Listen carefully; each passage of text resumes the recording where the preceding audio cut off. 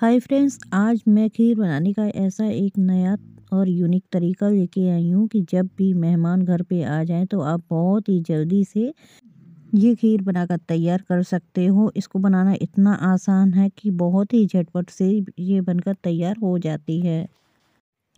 और इसके लिए ना ही चावल भिगोने की ज़रूरत है और ना ही खीर वाले चावल की ज़रूरत है। जो भी चावल हो, उससे आप इस खीर को बनाकर तैयार कर सकते हो।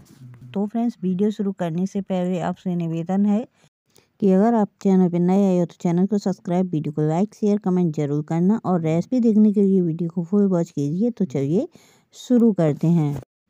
तो इस खीर को बनाने के लिए यहाँ पर सबसे पहले हम दूध ले लेंगे। तो दूध आप ठंडा या गर्म कोई सा भी ले सकते हो। तो यहाँ पर मैंने गर्म दूध लिया है और ये मलाई वाला दूध है। इसको मैंने पहले से ही गर्म कर दिया था जिससे कि इसके ऊपर मलाई भी पड़ गई है और इसमें मैंने पानी बिल्कुल भी नहीं डाला है। यहाँ पर हमें बिल्कुल प्योर दूध लेना है और इसमें पानी बिल्कुल भी नहीं डालना है। बिना पानी का ही दूध यहाँ पर हमें लेना है। इससे जो खीर है बहुत ही ज़्यादा रबड़ीदार बनकर तैयार होगी। इसको गर्म कर लेते हैं और ढककर रख देते हैं। और यहाँ पर मैंने जो है एक कटोरी बचे हुए चावल लिए हैं। तो यहाँ पर मैंने चावल बनाए थे, जो कि थोड़े से बच गए थे। तो आज उसी से हम ये खीर बनाकर तैयार करेंगे और बहुत ही बढ़िया सी खीर बनकर तैयार होगी। और अगर आपके पास ये चावल नहीं है तो आप अलग से भी ये चावल बॉयल कर सकते हो। तो ये देखिए, यहाँ पर हमारा दूध भी अच्छी तरह से बॉयल हो गया है। और इसमें हम अब जो है बचे हुए चावलों को डाल देंगे। तो यहाँ पर मैं जो चावल रखे थे, उन्हीं को इसमें डाल देती हूँ। सारे चावलों को डालने के बाद अच्छी तरह से इसको जो है, इसमें मिला देंगे और इसको इसी तरह से चलाते हुए पकाएँगे। इन चावलों से जो है, खीर बहुत ही जल्दी से बनकर तैयार हो जाएगी। इसके लिए ज़्यादा टाइम भी हमें नहीं लगेगा और आप इसको बीच बीच में रोक भी सकते हो। बस नीचे से ये खीर जलने ना पाए। और बस ढक कर हम इसको पकने देंगे और थोड़ी थोड़ी देर बाद हम इसको चेक करते रहेंगे, जिससे कि हमारी खीर नीचे से जलने ना पाए। और इसमें हम एक सीक्रेट चीज़ डालेंगे, जिससे कि बहुत ही जल्दी से ये खीर बनकर तैयार हो जाएगी। तो इसको चलाते हुए इसी तरह से हमें थोड़ी देर के लिए पका लेना है। उसके बाद हम यहाँ पर वन चौथाई के लगभग मीठा सोडा इसमें डाल देंगे। इससे हमारी खीर जो है बिल्कुल भी फटेगी नहीं और बहुत ही जल्दी से जो है पककर ये तैयार हो जाएगी और झटपट से बनकर तैयार हो जाएगी। इसको बनाने में ज़्यादा टाइम भी नहीं लगेगा और इसको हम चलाते रहेंगे। तो ये देखिए, मीठा सोडा डालने के बाद हमारी जो खीर है वो गाढ़ी होने लग गई है। बहुत ही जल्दी से गाढ़ी हो जाएगी। और डालने के बाद तुरंत ही ये गाढ़ी होने लगेगी तो इसको हम चलाते रहेंगे।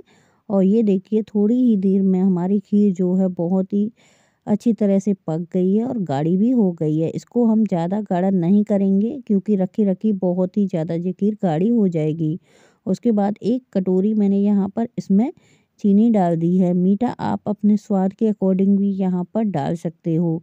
चीनी को भी डालने के बाद जो है चीनी अपना पानी छोड़ देगी तो यहाँ पर इसको थोड़ी देर और इसको हम पका लेंगे, जिससे चीनी में से जो भी पानी निकलेगा, वो पककर अच्छी तरह से इसमें मिक्स हो जाए और खीर जो है गाढ़ी हो जाए। तो ये देखिए, इस तरह से तैयार है। अब इसको हम उतार लेते हैं।